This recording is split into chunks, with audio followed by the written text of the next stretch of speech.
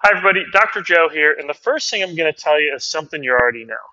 That's that pickleball is sweeping the nation. It is one of the fastest growing sports. But as a physical therapist, I can also tell you injuries in pickleball are also sweeping the nation.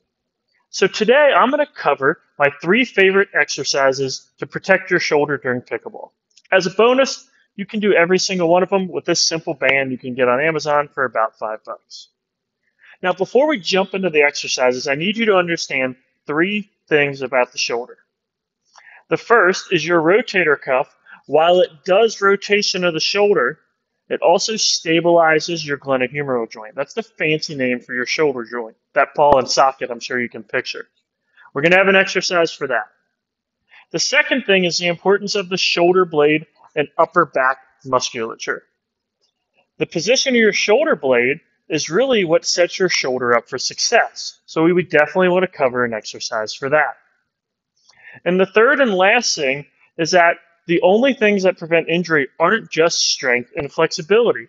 There's also coordination and control, or using the muscles of the shoulder when and how we want to. So we're also going to make sure we cover an exercise for that.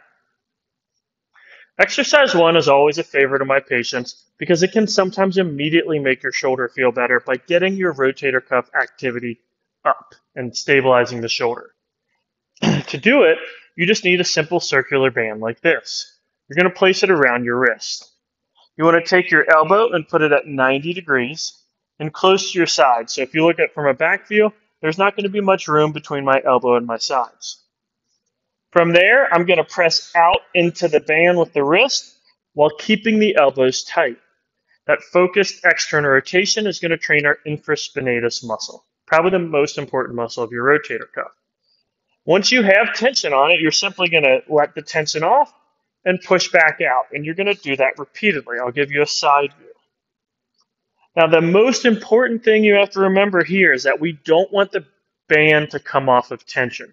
So never go all the way back in and let the band relax.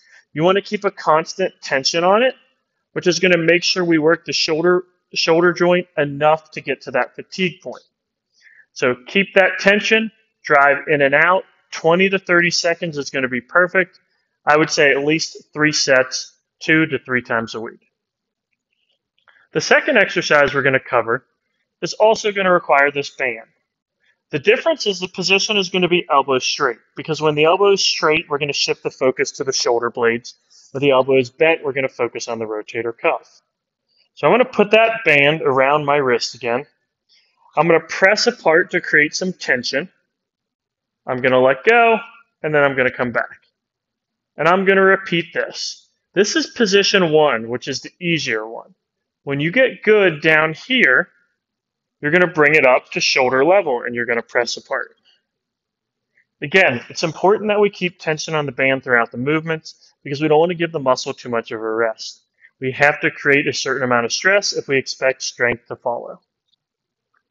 The third and final exercise to prevent shoulder injuries during pickleball is called a band pull apart plus raise. And this is going to be a coordination movement. So what happens when our arm goes overhead is as we get higher and higher, the rotator cuff and the shoulder blade muscles have to work harder. So we want to train it for that. So similar to our last position, we're going to put the band around your wrist. What you're going to do is start with a very small amount of tension at the bottom. As your hands go up, you want to try and drive them farther apart so that the tension on the band increases. And as you go down, you're going to let tension off.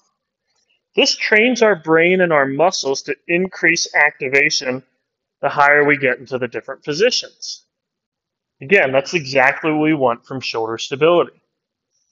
You can do a modified version of this to shift the stress to your rotator cuff by bending your elbows.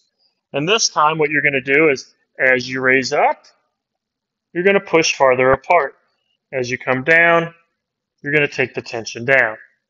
As you go up, the band goes apart, and as you come down, you're going to take tension off. That's going to make sure we're getting the proper amount of muscle activation from both your rotator cuff and your scapular stabilizers.